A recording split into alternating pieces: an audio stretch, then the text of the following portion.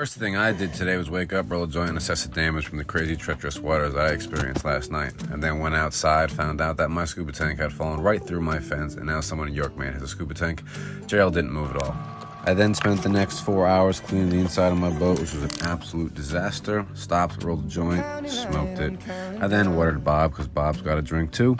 Next, I got out my sailor level, adjusted a picture frame, made sure it was square. Then we were onto the feng shui, candle, and incense.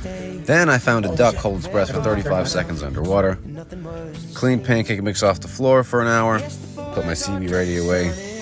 Vacuumed more pancake mix fixed this door that broke last night temporarily, made my bed, which included lifting two 60 pound 12 volt batteries back into place for my windlass, pumped up my dinghy a little bit, had some anchovies and crackers for lunch, and here's the final part. And of course, end of the day, Gerald was not happy.